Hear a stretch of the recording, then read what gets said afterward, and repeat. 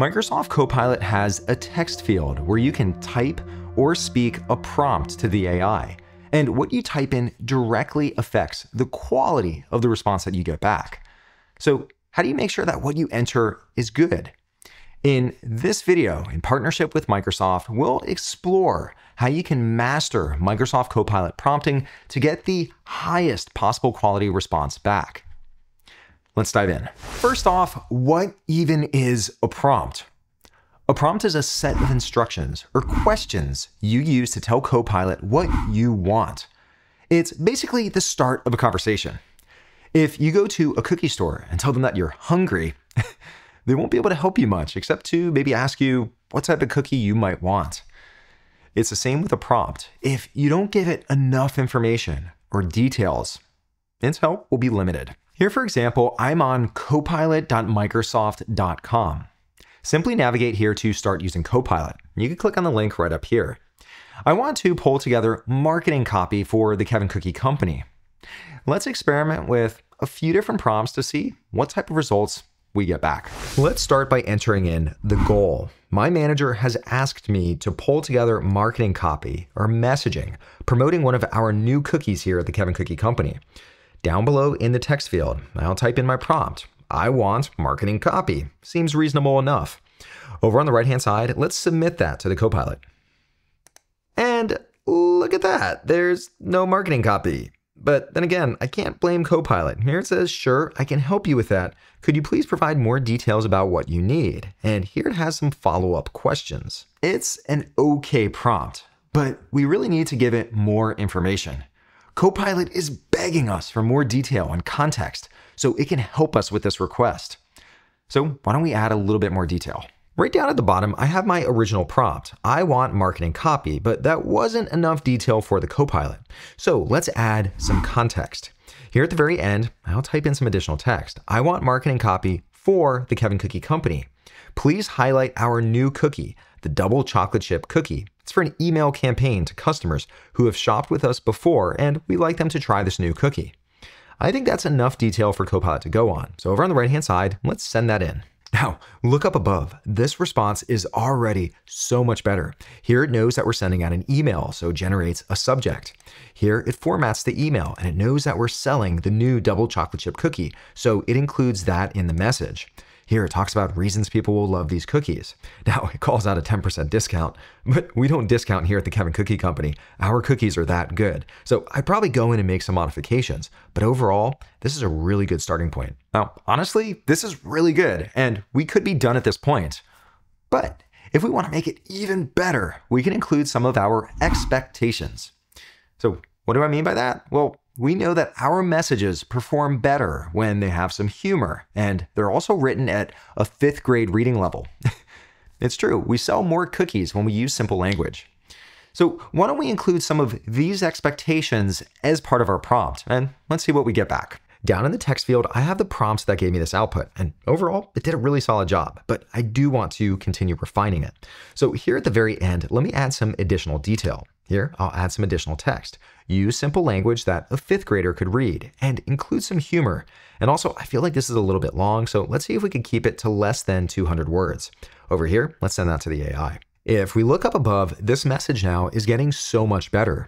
As I improve my prompt, the output is also improving. Right here, we can see that it incorporated some humor. If you love chocolate, and who doesn't? That's a nice touch. If we go down a little bit, it looks like the text has been simplified, so really anyone should be able to read this. And we also see that the overall message is shorter. The one thing I don't like though, it says why you'll love it, and then it lists out three different differentiators for these cookies.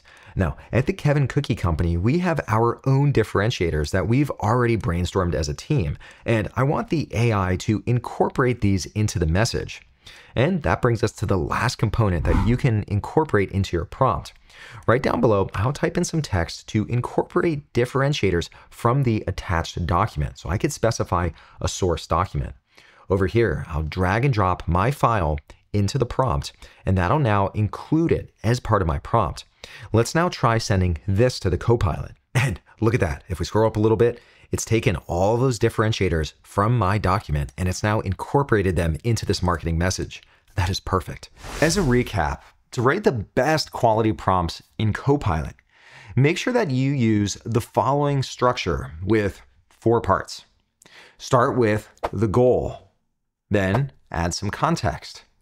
Set your expectations, and then include any source material that you want the Copilot to reference as part of its response. Now, you can enter a great prompt up front with just one go, or you could go back and forth with the Copilot a few times until you get what you want. There's really no right or wrong. Your first prompt is really just the start of a conversation.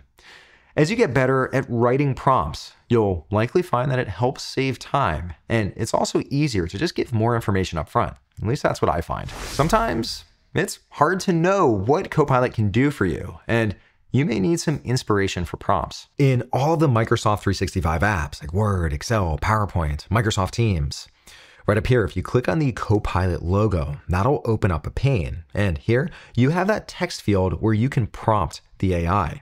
But right up above, you'll see all sorts of different sample starter prompts that will give you some inspiration. For example, you can use Copilot to help you create a presentation from a file. Maybe you have a Word document. Over here, you can help it understand a presentation. So maybe you just wanted to summarize a long slide deck. You could do that too. Now, these are just a few examples. If you go all the way to the bottom, you'll see this icon that says View Prompts. And when you click on this, it has a few different categories. Here, for example, I'll click on Create. Again, you could create an entire presentation, or you could just create some slides, as just a few examples. Here you could have it help you understand the slide presentation. So again, you could summarize, but you could also ask specific questions like, are there any dates or deadlines? Show me all the action items, or maybe just the key slides from this deck. You have those options. And here you see all sorts of different sample categories of prompts. And down at the bottom, if you need even more inspiration, here we could click into view more prompts. This opens up the Copilot Lab, and here we see a very comprehensive list of all sorts of different prompts that you could use in the various Microsoft 365 applications. And here you could even filter down to view specific types of prompts. And if you need even more, down at the bottom, click on See All Prompts. That should give you inspiration for your own prompts, and it also lets you know what all is possible. Here is another example. I'm in Microsoft Excel, and over on the right-hand side in the Copilot pane, here we see a different set of prompts that help show you how you can use Copilot with Excel. Down below, I'll click on View Prompts, click on Create, and here you'll see different ways that you could use Copilot. For example, you could generate formula column suggestions. You could add a column. You could extract data from a column. Here I am in Outlook, and you'll see a completely different set of starter prompts. For example, you could have it draft an email. You could have it set your out of office. If we go down to the bottom, I'll click on this icon, and we can see all sorts of different sample prompts that show you how you can use Copilot in Outlook. Now, all the different Microsoft 365 apps have Copilot, and Copilot is fine tuned to work within the context of that application. As you start using Copilot more and more, you likely won't need to rely on these sample prompts. Instead, you'll already know the power of Copilot and what type of prompts you can just type in in this text field down below. My recommendation, just start experimenting with prompts to see what type of results you can get back. The more you prompt, the more you'll see how you can incorporate Copilot into your day to day workflows.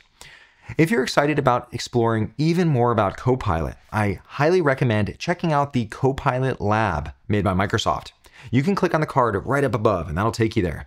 You'll find guides to writing powerful prompts. It's a fantastic resource and well worth reviewing. And for those of you looking to really master Copilot, be sure to visit the Microsoft Copilot for Microsoft 365 training. You can click on the card right up above. these are training courses catered specifically to different roles and functions like HR, finance, executives, operations, sales, IT, and also marketing. There, you can find webinars and training events that will help you make the most out of Copilot in your everyday work. Best of all, they're completely free and they go on all the time. So you'll likely find one that suits your level, need, and also schedule. To watch more videos like this one, please consider subscribing and I will see you in the next video.